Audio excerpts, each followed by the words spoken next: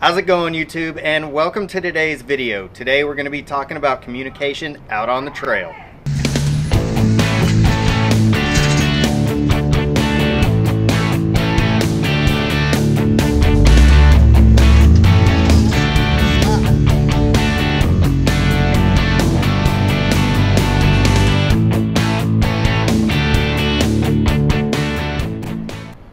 Before we get started, I would just like to say that I am in fact 20 subscribers away from doing the JKS license plate relocation bracket giveaway. So if you haven't done so already, go ahead and smash that subscribe button and head on over to this video. Make sure you leave a comment because that is how I'm going to determine who is the winner of the giveaway. So there are several forms of communication that you can use out on the trail, everything from a CB all the way up to a ham radio.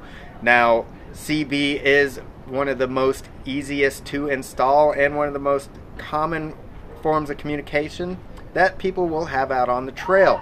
If you would like a little bit more versatility and distance or range, then you might want to look into getting a ham license and radio that way. So there are several options. Like I said, there's CB, there's FRS, which is Family Radio Service. There is GMRS, which is General Mobile Radio Service, and there is the king of communication, the ham radio. Now, which one is best for you? Well, that just depends on what you're wanting to do. Now, CB radio is something that people normally get right off the bat.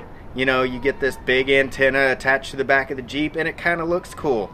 A lot of your buddies are probably running a CB, so that's what they recommend and that's what you get. That may or may not be the best option for you.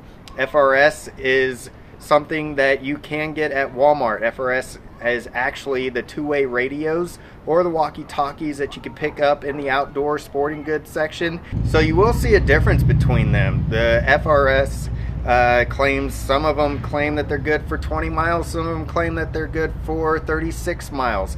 Now keep in mind that those distances and ranges are all dependent on operating conditions. Now if you're in a desert area where everything's flat and there's no obstructions then maybe yeah you'll get that 36 mile range. But chances are you're going to be in the mountains or on a trail and there's going to be obstacles there that are going to limit how far the communication is going to travel. Keep in mind that the FRS is limited to a 0.5 watt operating power, so you're not going to get the incredible distance that you would with GMRS or, you know, the ham radio. Keep in mind that the CB and the FRS do not require a license when you start stepping up to the GMRS, the General Mobile Radio Service, you are starting to look into requiring a license. While there is no test for the GMRS, you will have to go and register and you will have to pay a fee for that.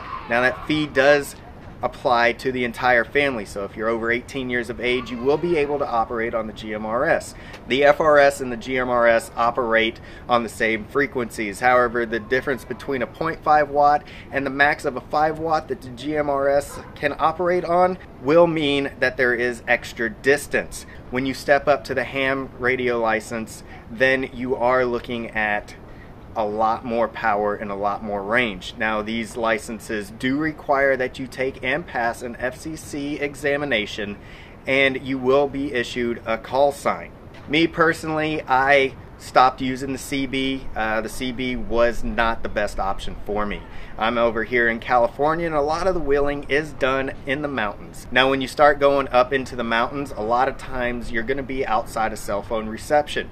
If anything were to happen for whatever reason, you know, you're not going to be able to reach out for help. CB wasn't going to cut it, GMRS wasn't going to cut it, and so I started looking around, and if you hit a repeater, you could talk for 100 miles or more on the ham radio. As you can see, there are a lot of options for communication out on the trail, and what solution works for one person may not work for the uh, for you.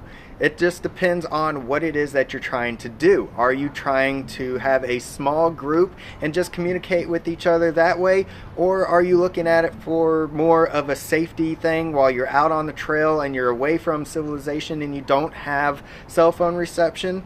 You know, these are all questions that come into play, as well as, you know, what is your budget and what you're trying to do with your vehicle. As always, If you enjoy this video, please hit that subscribe button in the bottom right hand corner. Until then, we'll see you on the trail.